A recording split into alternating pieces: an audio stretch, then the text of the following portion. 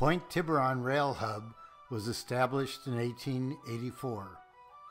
Passenger operations were centered around the depot known as the Donahue Building, which is the main surviving structure of the railroad today. Since 1995, it's been home to a museum which includes a detailed scale model of railroad operations in 1909, the height of passenger and freight traffic in Tiburon. Rail yard covered 43 acres, all reclaimed land. The museum's model covers just 400 square feet. Here is Main Street, Tiburon in 1909, and now faithfully recreated on the model. For more than 80 years, locomotives were maintained in the roundhouse, and now you see it in HO scale. A view of the main line going north, and as shown on the model. A ferry boat has just arrived to meet the morning 943 train number 3 bound for Ukiah. Imagine yourself in 1909 hurrying down the ramp and hearing the conductor announce, All aboard! Let's board the train and begin our journey. Back in 1909, 10 passenger trains a day left this terminal.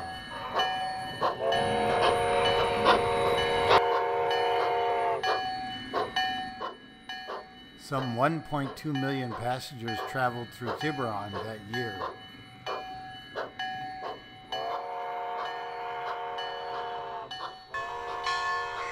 And the noise was never ending. Bells clanged and whistles blew all day long. Train number three passes a track gang at work.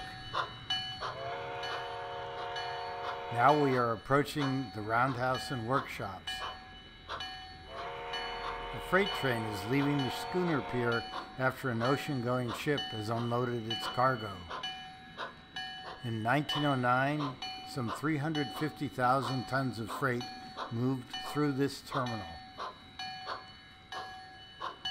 From inside the roundhouse, an engine enters the turntable for maintenance.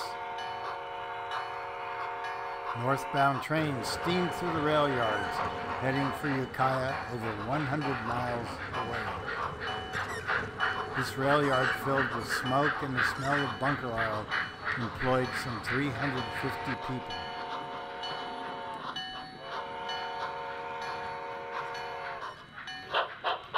Meanwhile, the work train heads out onto the main line.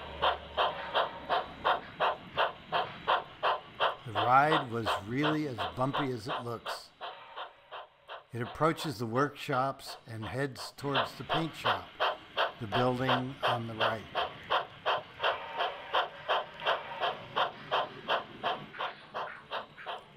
Time for a new shiny coat of paint. A steam engine enters the paint shop.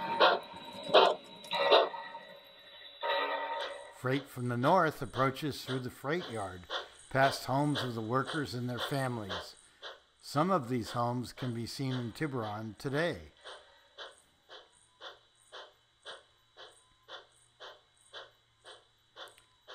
This old passenger car served as a Sunday school. How different Main Street Tiburon looked over 100 years ago.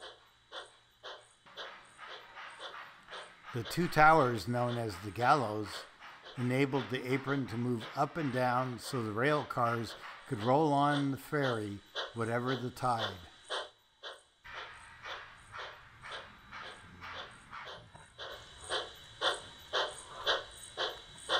It's a tight fit as the cars go inside the boat bound for Pier 43 in San Francisco.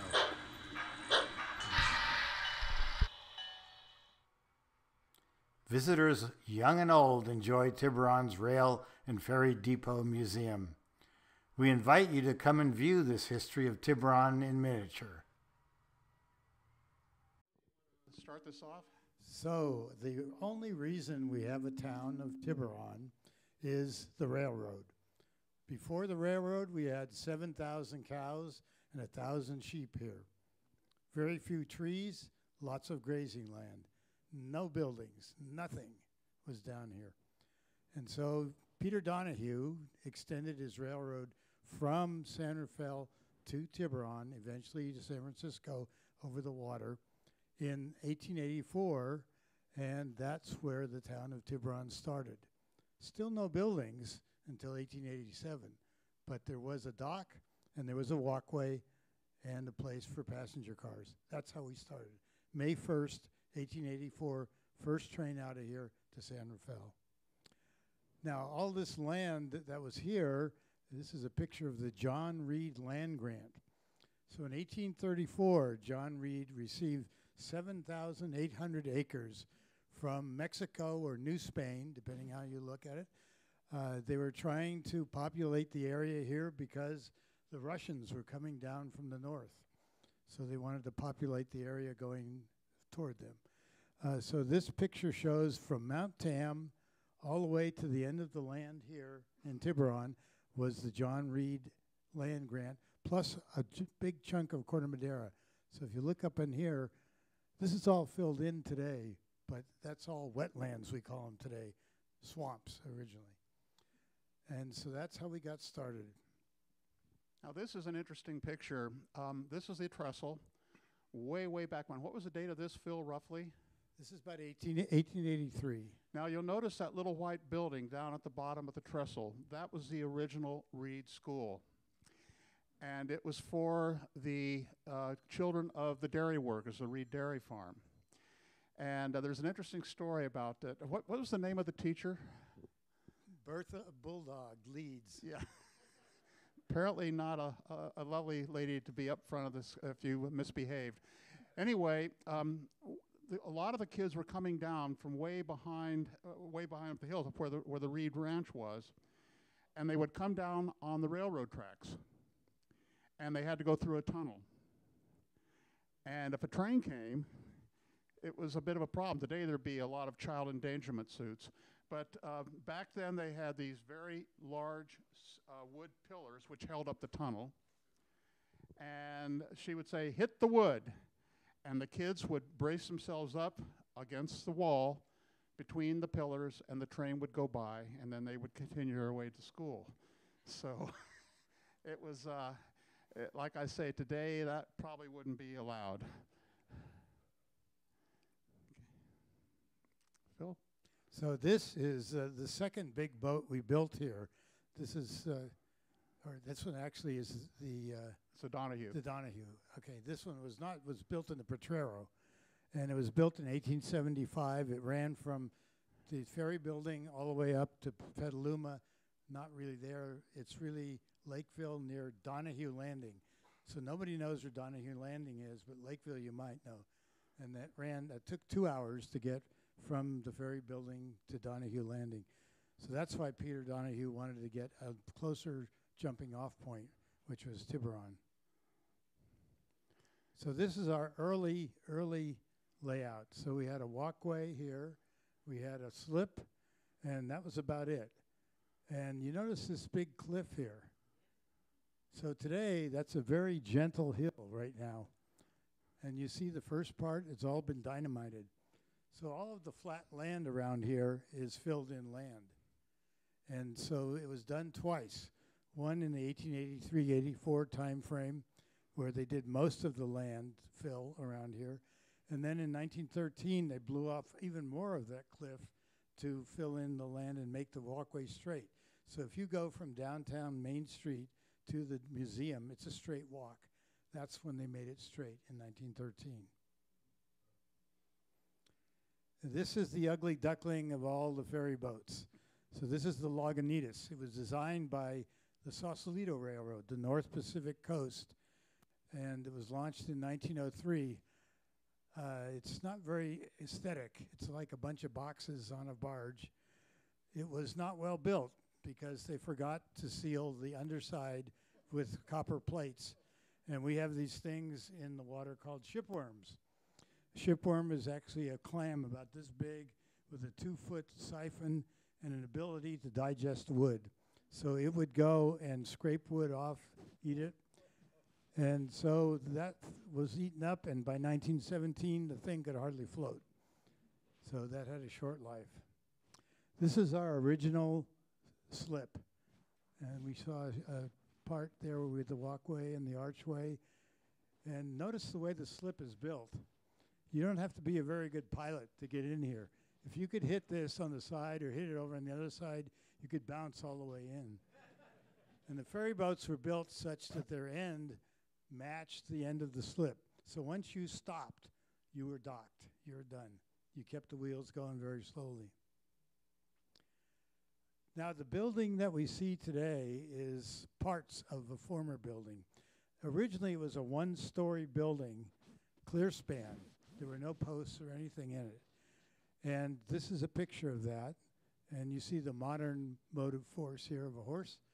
And here's the walkway toward the slip.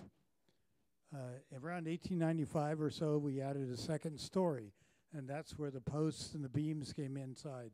But originally, you could drive a horse team into the uh, depot, unload your pack- passengers and such, turn them around, and drive out the other side.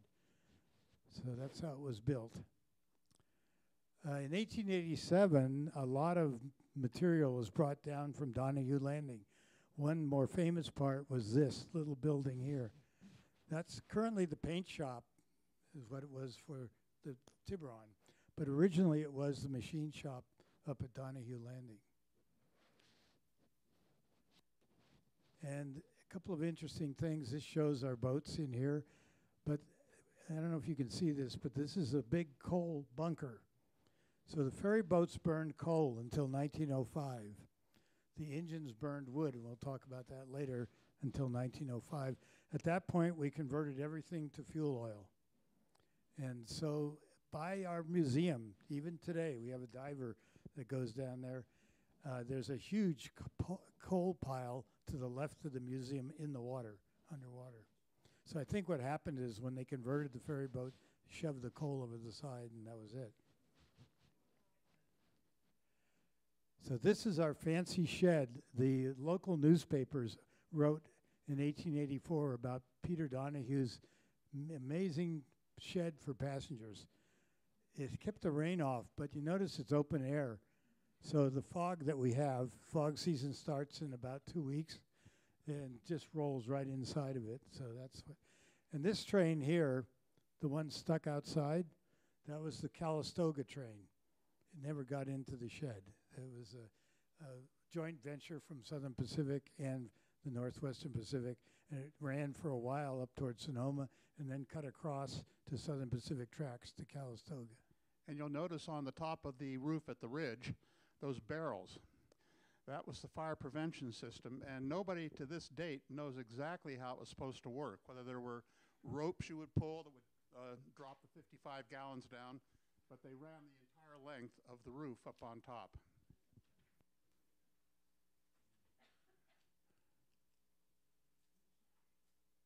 So here's another view of the shed, and it gives you an idea. Here's a, a wood burning engine, some of the people here, but again, there's not much protection against the weather except for rain, and that's about it.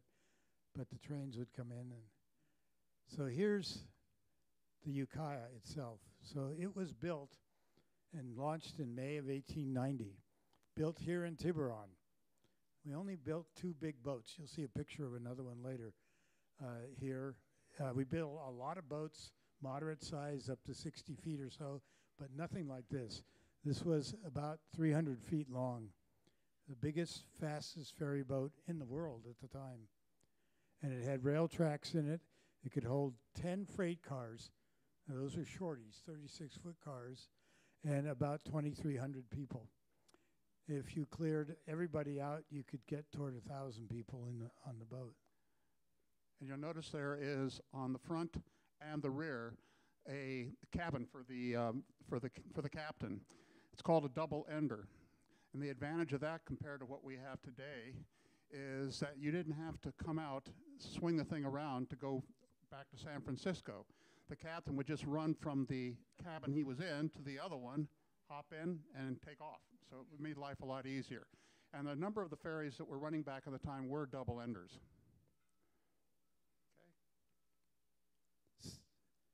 And this is the tag that shows that our boat was made in Tiburon. So that's the piece of documentation everybody searches for. So this is the Del Norte. This is the only photograph of this boat. It was about 190 feet long. That was the second boat we built, launched in December of 1890, and that was the end of our large boat building experience here in Tiburon. Uh, this is the only photo at the Bancroft Library of the boat anywhere. So here you see uh, a variety of boats and ferries. So this is the Lagunitas here. Uh, this is probably the Ukiah here. Looks like it. And yeah. you see we have a second story on our building now. So this is around 1895, 1896. That's when we added the second story. We added the post in the first floor to support the floor. And so that changed the nature of the building. That building housed the telegraph office for Southern Marin. It housed Railway Express, which is predecessor to FedEx, UPS, all those DHL, and it was a waiting room uh, for passengers. And here's our boat taking off. So we're leaving the slip. Here's our nice archway. So when you came into Tiburon, it was kind of a big deal. It had a very nice archway and walkway to get in there. And what's left of that are these two, and you can see these at low tide, two piers that supported the walkway.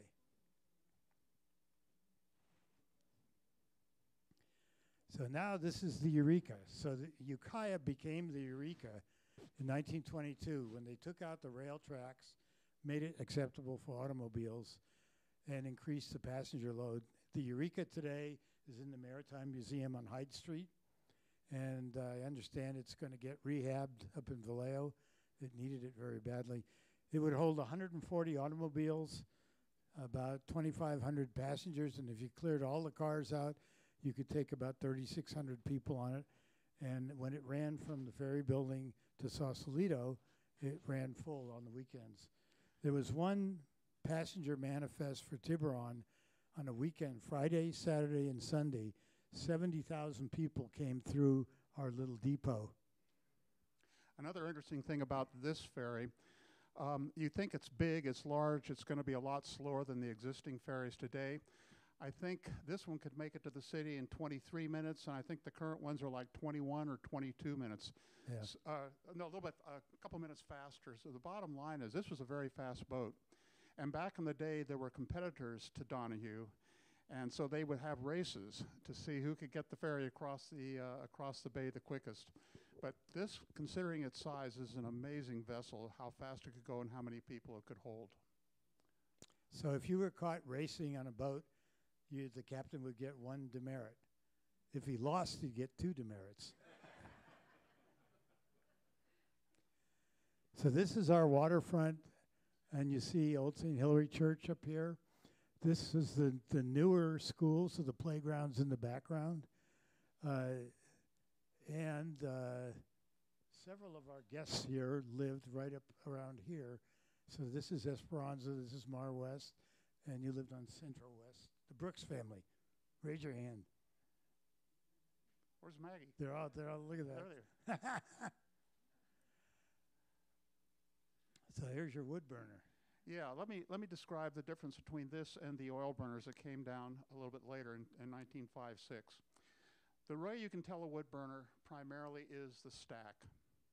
And that stack has a purpose. It's it's a spark arrestor.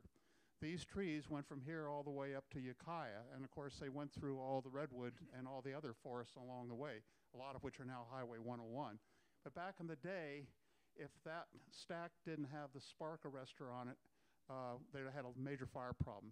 So the way you can always tell a wood burner is that it has that kind of that uh, I don't know what you would call it, rectang- not rectangular, but anyway, that conical uh, Diamond stack. uh, stack. And the oil burners were really boring. They looked the stacks for them looked kind of like the two uh, things going behind. They're about this high and about that. That was it. So one of the one of the conversions was they took that out. They also put um, as opposed to the, beneath they had um, basically tubing uh, for the boiler, and they had to put a burner in there for the oil as opposed to throwing in wood. It was a lot easier, I, I would assume it was a heck of a lot easier to, uh, for the firemen to run these trains as opposed to what it was back in the days of wood.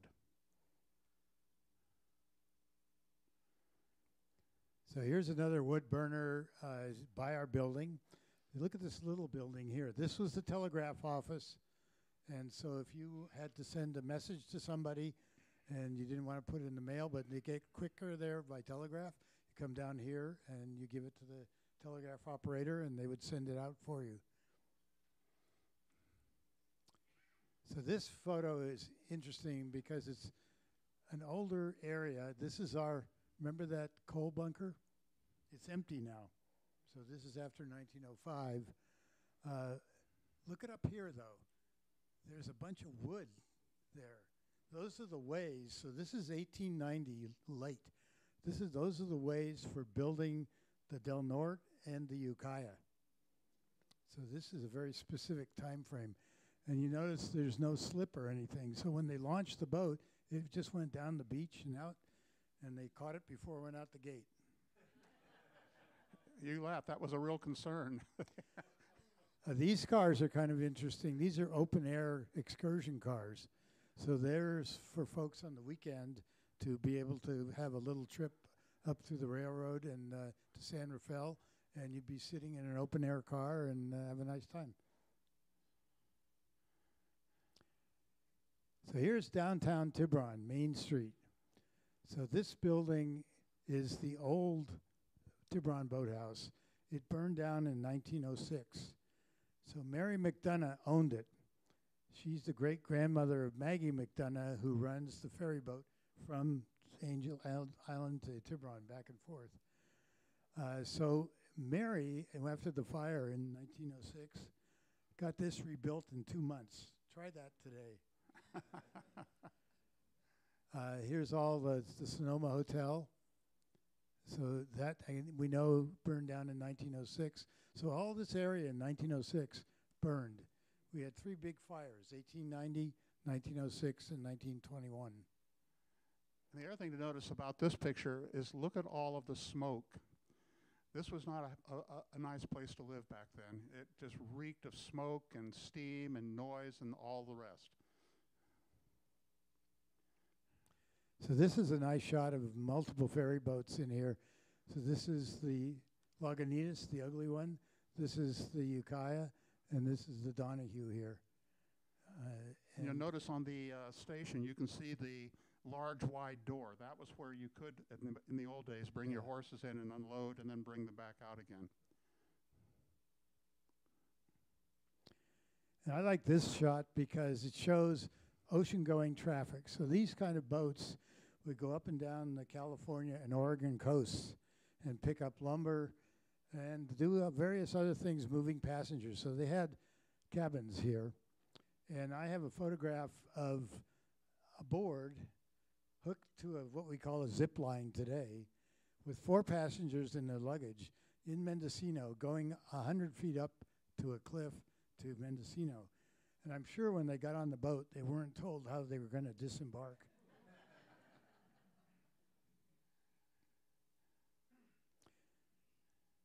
And this shot shows us, again, our slip. So remember, we built a boat here, and there was no slip.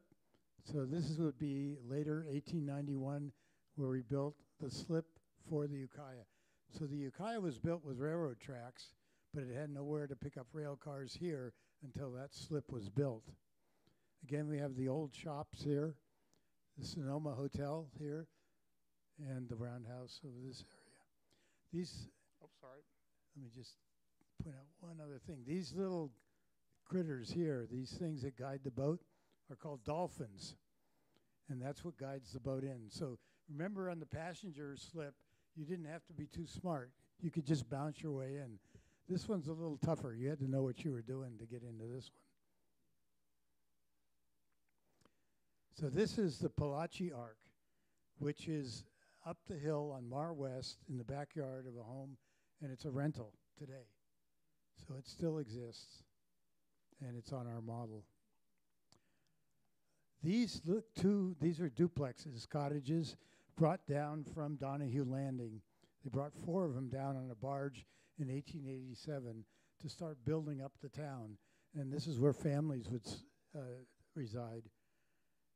And uh, they burned down in 1921 also.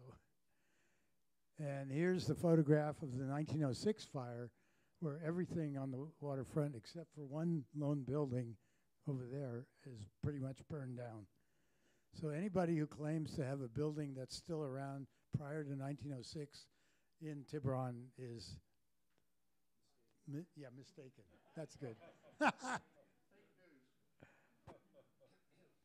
Uh, here's a later shot of Main Street, the Tiburon Boathouse, which uh, Mary owned, and uh, we've got a bunch of uh, pool halls, bars, you name it. We had every vice known to anybody here. So the, the boathouse uh, that Mary owned, that was now Waypoint Pizza, is it not? Yes, in the Well, front. Upstairs, there was a business that we don't talk about in polite company. And we get a lot of visitors, some of whom now I believe it's a, uh, a, a bed and breakfast or hotel upstairs, Yeah, you rent room. and renters. And uh, they come and visit us, and we tell them what was going on upstairs when before they arrived. But it, this town was a railroad town. It was a rough and woolly and ready town. I mean, they, they a lot of drinking and a lot of a lot of carousing going on because these guys worked hard and they played hard. So we have a docent, Fred Cadoni. He was a dispatcher here in 1953, so he's a mature citizen. But uh, he uh, has some stories of finding his firemen and engineers in various buildings around the town doing various things, and he would haul them back and put them in their train and get them going. Uh, this is a great shot of uh, our building and the waterfront, but there's one structure right here. See this big tall thing? That's the pile driver. So pilings lasted between 30 and 35 years.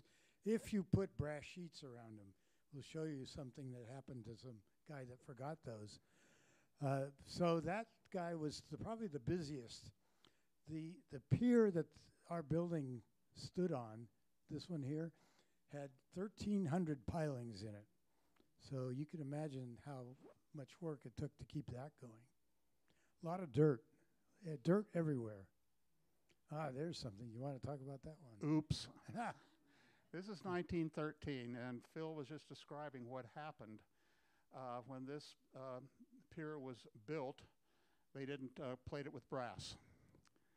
So the uh, shipworms got down there, and they had a field day, and poor old number uh, 112 went into the drink. The scary thing is that the engineer and the fireman went down with it. I guess one of them got out, didn't they? And the and fireman, yeah. and he dove in and literally cut the engineer free. Apparently, a strap got caught on some of the valves inside the engine and saved him. So uh, it was it was quite a deal. I think there's another picture following up. Yeah, that's another view of it. Yeah. And it turns out that 112 uh, was restored, and, and, and you'll see pictures of it later. They kind of tarted her up. And she currently is up at the, at the Sacramento Rail Museum, and you can actually see her climb on board if she's out uh, to be uh, displayed. She's got a green and silver and kind of gold paint job. so she doesn't look like she did back in the day. I think we have a picture of her. No, we don't. So what, we do have another picture of her when she was still Yeah. the way she used to be. Do you want to talk about the gallows? Yeah, so this is how we adapted to our tides. This is called the gallows frame. This area down here with the tracks is the apron. And what we did is if you came in at low tide, you would have to lower the apron to match up where the barge was. If you came in at high tide, you would raise it. These big wheels up here held counterweights. So you see this big counterweight here and this one there. Uh, so those would make this essentially weigh zero. And so the weight of the rail cars on the barge was what was left to be supported. The small wheels ran up and down so we could go raise and lower it. Originally, they had a large water tank that was attached to the small wheels. And if they wanted to raise the uh, apron, they would fill the tank with water, and it would pull down, and the apron would go up. And if they wanted to lower it, they dropped water out of the tank. Eventually, they put an electric motor on the whole operation, much more efficient. Oh, by the way, tell them what the weight of those wheels were, by the way. Oh yeah, the big ones are eight thousand five hundred pounds, and we had uh, when we moved them, uh, we had a b- huge backhoe, and we flattened the tires on the backhoe with those. Uh, the small ones are five hundred pounds. Uh, they've been stolen once or twice, so there's some pretty big folks around that like to steal stuff, heavy stuff. So this is our first station out of Tiburon itself. It's at the police station. So this is, uh, and uh, yeah, Hilarita. So Hilarita was the daughter of John and Hilaria Reed. And so Hilarita means little Hillary, I, I figure. And uh, that was a milk stop. And so uh, that's the only time that they would pick up anything. This is the Reed station. Reed Station is near Bel Aire School. So if you ever go to Bel Aire School to a function there, as you come in the driveway, you'll notice there's a hill on each side of it. That supported a trestle that went over the top. So the tracks went basically over the top of the driveway, made a right turn, and went up through a tunnel to Corte Madera. This uh, was a station up on um, the Russian River for the Bohemian Grove. Um, we had a spur which went along the Russian River all the way out to Duncan Mills for lumber. And uh, when the Bohemian Grove was established, uh, some wag decided, why don't we put a couple of uh, passenger cars on the back end of those lumber cars and we can go up there and basically be dropped off. I can imagine the condition those guys must have been in when they, when they hit the Grove. uh, two to three hour train trip from down here. Um, this is actually in the Grove. I took this picture. This is a, at a camp called Tunerville, uh, and I pleaded with them to get give it to us for the museum, and they, they want to hold on to it. So if you look at some of our older schedules, they actually have in July a schedule for the uh, Grove trains going up and coming back. So this is my daughter on tunnel number two, which uh, in if you go to Via Capistrano, uh, which is off of Blackfield, and so that uh, house at the end of the cul-de-sac owns to the tunnel. They worked a deal with Southern Pacific to have their pie-shaped lot and then a big panhandle to go through the tunnel. So we walked up there, and I asked her if she could crawl into it, and it's pretty well caved in, so she couldn't really do it. She's grown up a lot more since that.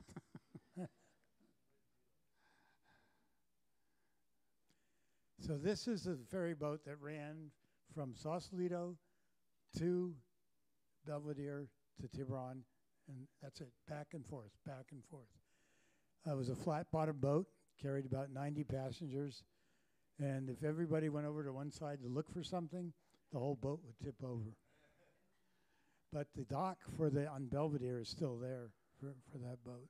And the reason why they were running this ferry between Sausalito and Tiburon is that passenger traffic was stopped. What was it, 19? Oh nine, the end of 1909. Yeah, so so if you wanted to go to Tiburon, you had to t- take a ferry to Sausalito, then hop on this guy, and he would bring you over to Tiburon or Belvedere.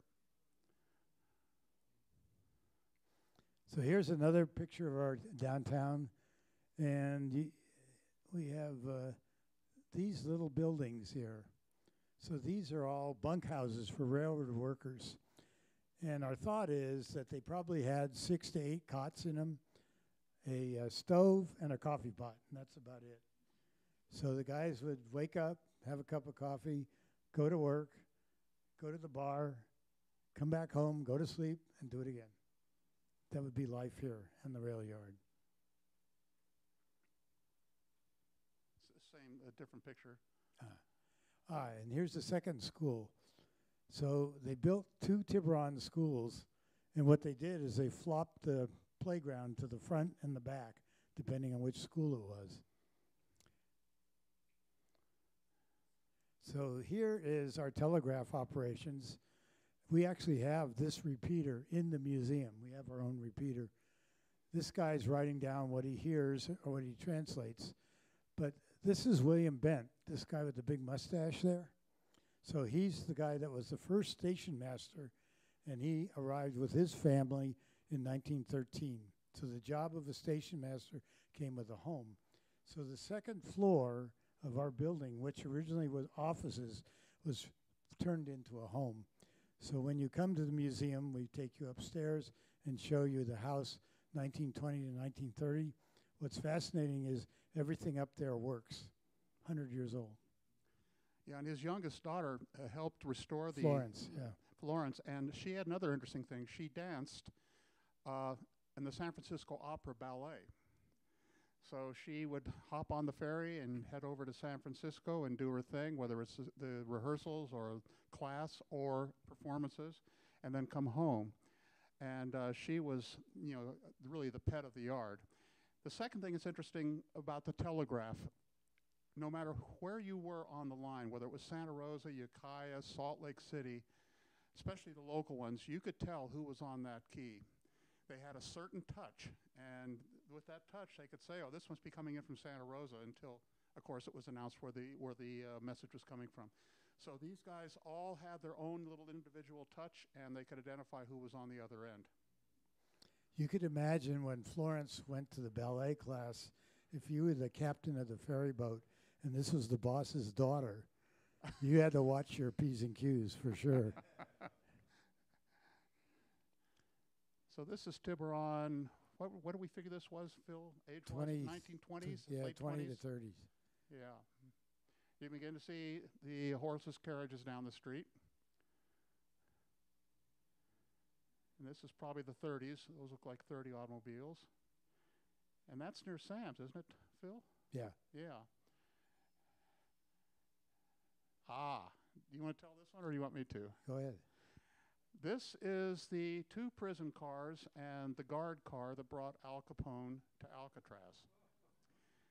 Al Capone was supposed to come to Oakland, which was where the main uh, railroad line from back east comes, get on a ferry there and be trundled over to Alcatraz. But there were rumors that they were going to try to break him out at the Oakland. So what they did was they hauled the train around the top through Vallejo, down the Marin Peninsula, and into Tiburon. and Al Cap- the last uh, land that uh, Al Capone saw before Alcatraz was Tiburon. You'll notice the cars, th- the first two cars have all chain link fence over the windows, so they'd be pretty difficult to get out. The car in the back is where the guards ran. So this is literally when he is being unloaded at Alcatraz.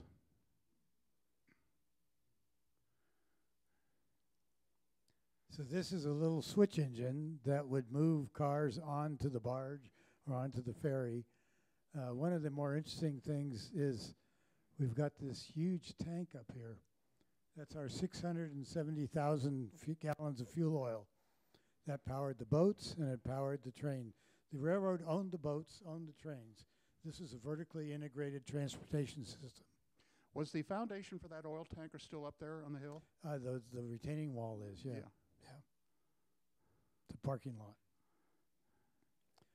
And this is our building. Notice the water and mud and crud and everywhere. It's uh, not too uh, romantic, I'll tell you.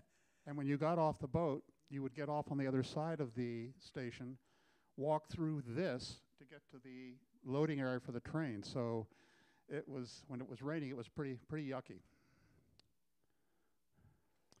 So this is around 1930. Uh, shows us all of our activity in the rail yard. Here's the town, Main Street, shortest main street in the U.S., 450 feet.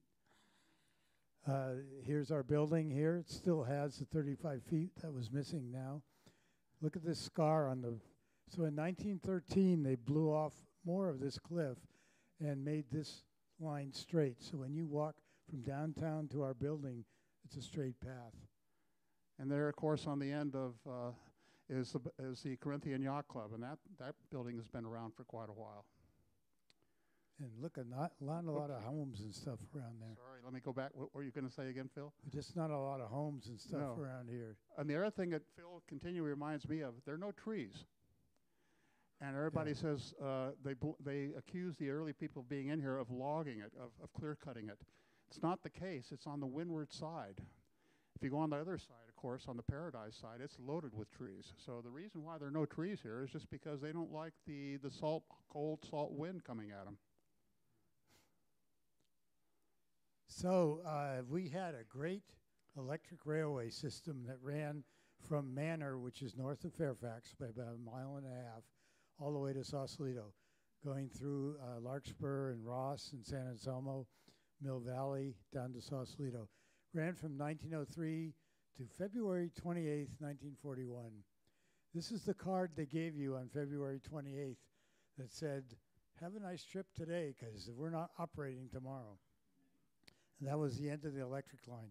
We had a very great interurban urban system, and uh, we were electrified before New York electrified their subway, and about a year after Chicago electrified theirs. So it was a joint venture of PG&E and the railroad to set this up.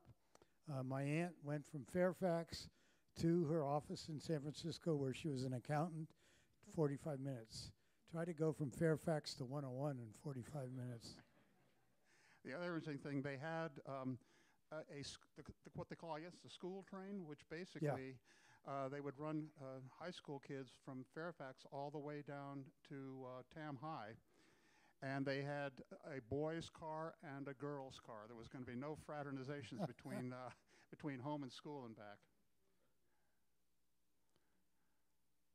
So this is a view with our new. Remember, we had a big fire in 1921. And it burned down all the shops. Did not burn the roundhouse. Roundhouse caught fire three times, and they put it out three times. But this is our new corrugated steel building. And uh, here's something that's interesting. I don't know if you can see this line.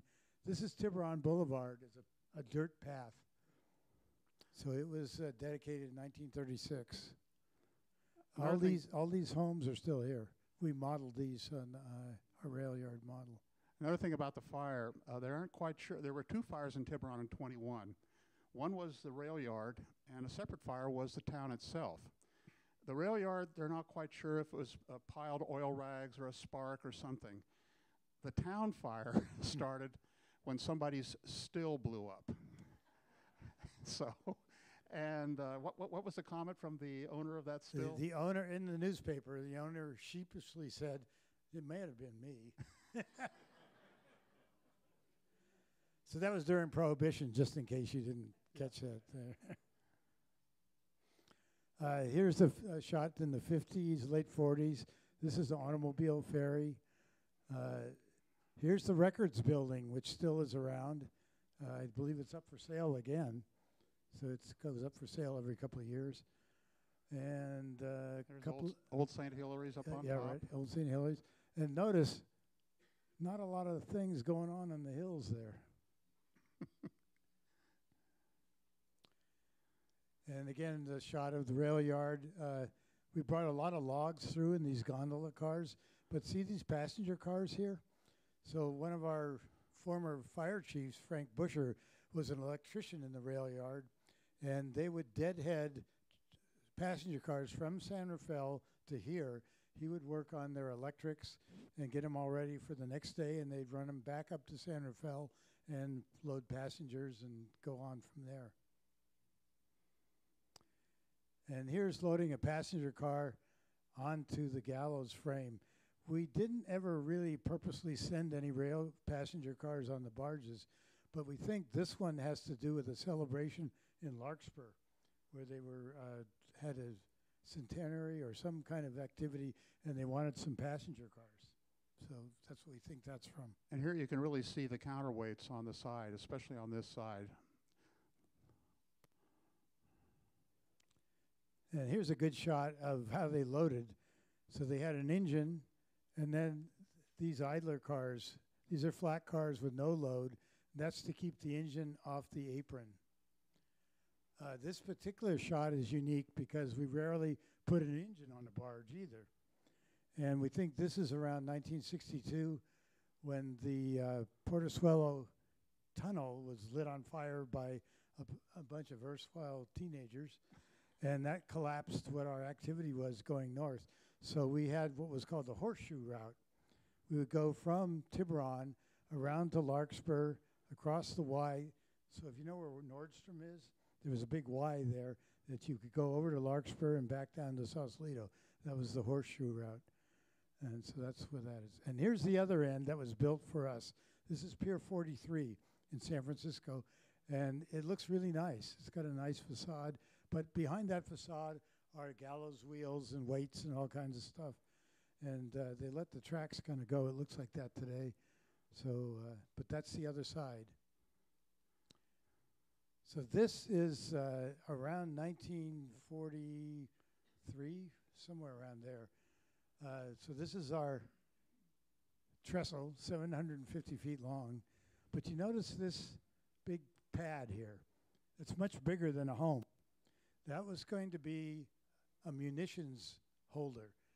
So we have Belveron East, which is right here. These pads are all for homes. You see, they're pretty normal. These pads up here are for munitions, bombs, and other things that could blow up. And uh, here's the old way to get into town, coming down Greenwood Cove and then going down this way. And here's Trestle Glen, kind of a new road there. Tell them about the letter that uh, residents of the Oh, yeah, peninsula received. So I'm still f- searching for somebody who has one of these letters. But on August 22nd, 1945, every resident of Tiburon got a letter from the War Department that said, You must vacate your homes immediately. We're going to turn all of Tiburon Peninsula into a military reservation. It was basically going to be another Port Chicago, a lot of ammunition, etc. And the folks in Ignacio got the letter two weeks before that. And by the time the folks here got the letter, Ignacio had packed up and people got rid of their homes. It was a terrible thing. Uh, the World War II ended September 5th, I think, and everybody said, never mind. So if anybody has someone who was here during World War II who got the letter, I'd love to get a copy of it. Uh, this shows our trestle, but this is Blackie's pasture here. So that was all, we call it a swamp, but it, we call it wetlands, I guess, today. and so that's what it was. But it got filled in when they changed the highway and when they built these pads for the uh, uh, homes. So this is Meredith Lindman. Is Meredith here? Sometimes she comes. Anyhow, she's resident of town, uh, much younger there, and uh, she's waving at the train. Uh, uh, she still lives in her mother's house uh, on Tiburon Boulevard, in about the same place. So she was a regular fixture waving at the train engineers. And you'll know this is a good picture showing the oil stack versus the diamond shaped stack for the wood burners. And here's the water tank near the Hobo Junction, I believe, close to it. I think Peter, you can comment on that as to if that's correct or not.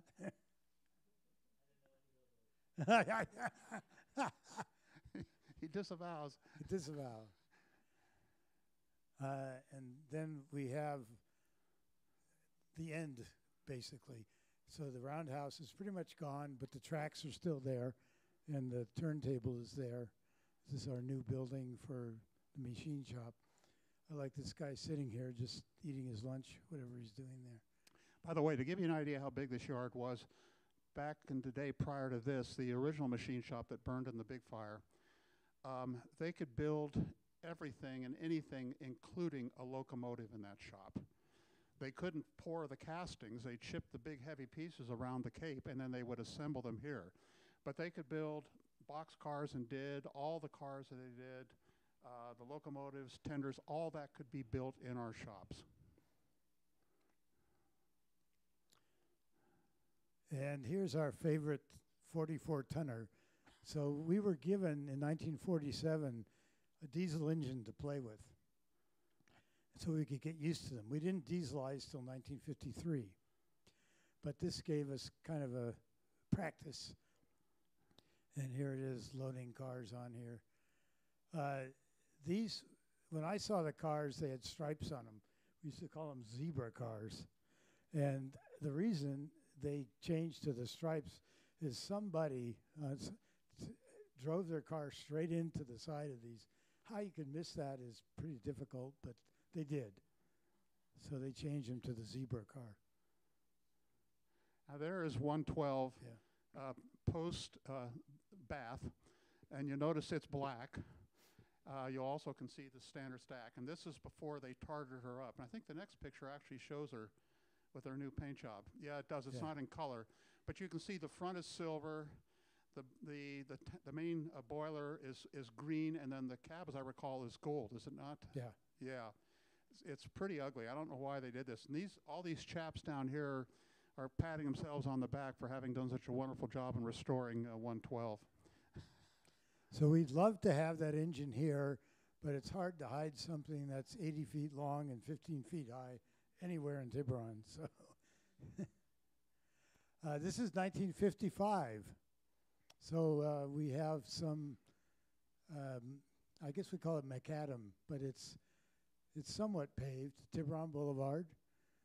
Uh, here's the old Tiburon boathouse that Mary McDonough owned.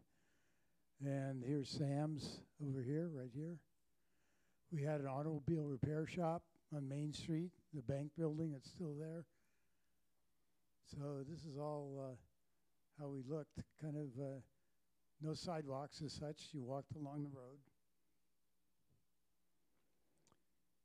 And then here's later when we moved the building off. We lost 35 feet of it, so that's our building right there. Here's the two little piers that you can see today. And here's the remainder of the slip. This stayed until 1974. Here's the viaduct. So you could walk across to Mar West Street from downtown across the rail yard.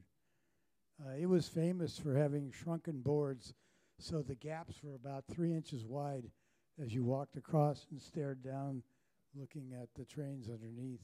And there was a, th- that viaduct was used also for uh, kids who lived on the rail yard to get up to school. And they didn't like it because they had to go about an extra half mile to go, go to the viaduct and over the top up to the school. So they tried to cut across the rail yard. And if the rail yard detectives caught them, it, w- it was probably the last time they would consider doing that. And of course, uh, it was, it was they were pretty rough. But uh, so they all had to go across that uh, viaduct to get get to school in the morning. So here's the beginning of the uh, Belvedere Lagoon area here. So this is probably 1942 or so. Uh, World War II stopped the development, and then it was finished after the war was ended. Uh, but that's Peninsula Road being shown here, and no, I don't think there's any houses yet. And here's in San Rafael. So in that era, uh, the trains didn't come out of here and they didn't come out of Sausalito. They started in San Rafael. So when you bought a ticket at the ferry building, you took a Greyhound bus ride up to San Rafael. Later, it was moved up to Santa Rosa. So then you got a Greyhound bus ride from San Francisco up to Santa Rosa. Then you got on the train. And this is either Borden's or Coca-Cola. I'm not sure. I didn't see a sign there. So. And and one thing that we really kind of bypassed, what killed the railroad? The Golden Gate Bridge. Um, for passengers especially. And when the passenger traffic went away, we still had a very good freight business, but we didn't have the big 80, 80 ton semi rig trailer, tractor trailer rigs that we have today. And when they came in, uh, it just eroded all of the business for the railroad. There still is a Northwestern Pacific Railroad. For those of you who drive up to Napa and you go along the highway at 8th Street, uh, there's you'll look in there, you'll see a couple of big diesel locomotives, and that's the NWP, and they supply grain, feedstuffs, et cetera, for the dairy farmers on the uh, on West Marin. So this is an excursion uh, run by Belvedere Tiburon Landmark Society. Uh, I think it's based on that diesel, probably 1962.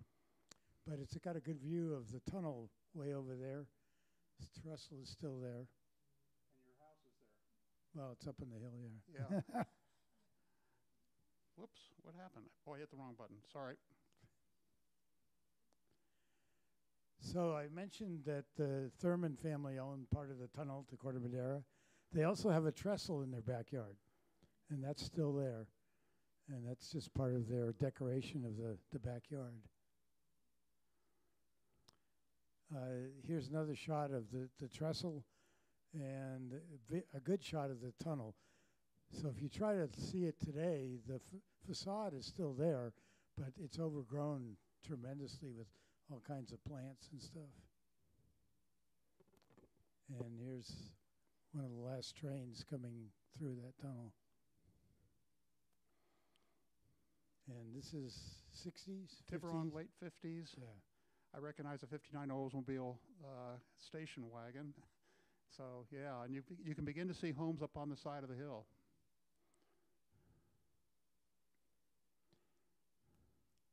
And here's our trestle. If you go on the trestle trail today, this bulkhead is still there. And the rest, we have 40 feet of real track and then 500 feet of range. So this is one of the trains, probably not the last one, one of the later ones, uh, taking freight on the horseshoe route. This we think is the last train coming out of here. So it's 38 feet from here to the bottom. So if you were running across there and you tripped and fell, that's a pretty big jump. And here's how the rail yard looks today. It's all condos, tennis courts. That's what we have today. And there's our building, and there more. So this is Mar West Street back here, and all these are built on the rail bed. So the rail bed is the only solid ground in this area. So this area over here is actually uncompressed uh, compressed ground. So if we get a really bad shaker, this building could float out to Hawaii. And that's our building. Uh, what's interesting, we had 35 feet going this way, and there was a roof line that went up like this and down like this, and three windows. All that's boarded over now.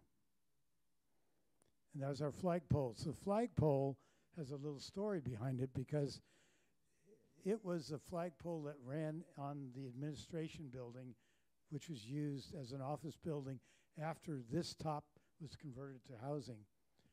And so we added 12 feet to the pole to give it to the same height as it was on the administration building, and that's where it is.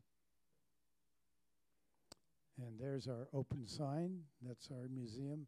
This is what we started with clean slate. Uh, it was uh, a lot of work to make it uh, into something that would be a museum. And those are the posts that were added to support the second floor. And now we take a little tour of the, the model itself. So these are almost look like real photos, but they are the model with the boat and the slip. Look at the water. You know, that looks like the water that's out there. We have two waters on the model. One is the bay, and the other one is the fetid uh, pond, uh, where the houseboats and all sat around, and they threw their sewage and garbage and everything in that pond. Yep. Uh, and you see rowboats. I can't imagine wanting to take a rowboat across that thing, but. And just some more. Fueling up. There's the roundhouse. There's our building with the extra 35 feet on it. And ocean going boats. And in the slip to unload cars.